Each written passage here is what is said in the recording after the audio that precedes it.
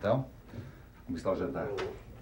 Foi o que eu lhe disse mesmo. Juliana se atrasou, mas daqui a um pouco o jantar estará pronto. Roberto. Sim. Por que você foge de tantos assuntos? Eu não fujo de nenhum assunto, é impressão sua. Não é impressão minha, não. Hoje mesmo, quando estávamos eu no quarto, eu comi... Eu apenas evito certos assuntos. Isso não é fugir. Como agora, inclusive, não? Exatamente. E se eu lhe disser que isso. que isso pode influir sobre o nosso casamento? Eu lhe diria que você está sendo injusta com você, comigo e com o nosso casamento. Nada deve influir no nosso casamento. Nada. Rigorosamente. Veja bem, eu não disse sobre o nosso amor. Eu disse sobre o nosso casamento. As nossas relações entre marido e mulher. Eu amo você, minha querida. Mais do que tudo nesse mundo. E acredito também que você me ame com a mesma intensidade. É disto que você deve se lembrar.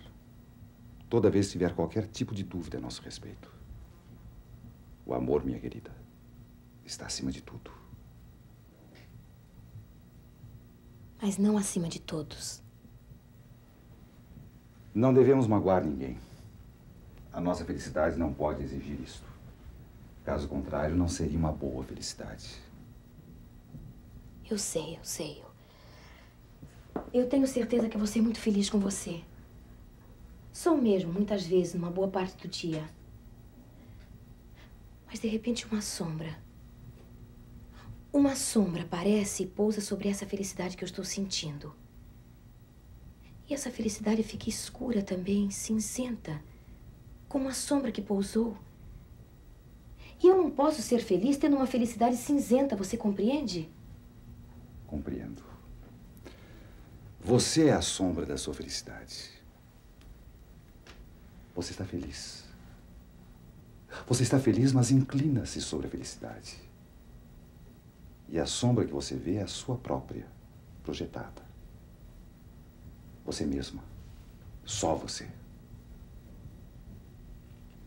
Você quer dizer que eu me faço infeliz?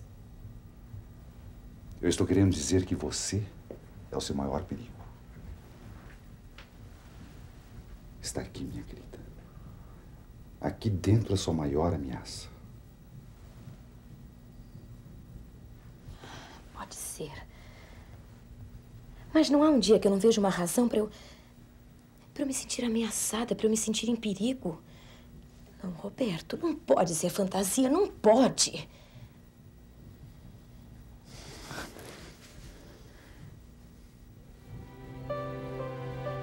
Você está olhando para ela? Para quem? Alice. Não. Eu estou com os olhos fechados. O Munhoz, por exemplo, tem feito investimentos com pouco dinheiro. E já tem visto excelentes resultados. Bem, é preciso saber o que você chama de pouco dinheiro. O acessível para qualquer bolso. Não, obrigado, Antônio. Por que você não propõe uma sociedade ao Munhoz? Outra? Ele já faz o possível para associar-se a mim com relação a Adélia.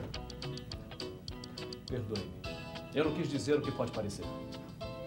Eu entendi perfeitamente.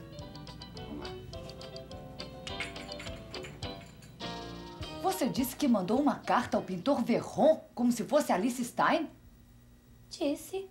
Ué, por que isso? Bem, eu acho que na melhor das hipóteses é um pecado. Não devemos brincar com os mortos. Mas eu não estou brincando. Que em não se revelar a um velho homem que mora longe daqui, em Paris, que uma amiga sua morreu no Brasil. Pra quê? Até mesmo para não constrangê-lo. Ele iria ficar embaraçado por não ter sabido. Como acontece quando às vezes encontramos uma pessoa na rua e perguntamos como vai sua mãe? E a pessoa nos conta que sua mãe morreu. Ficamos muito sem jeito.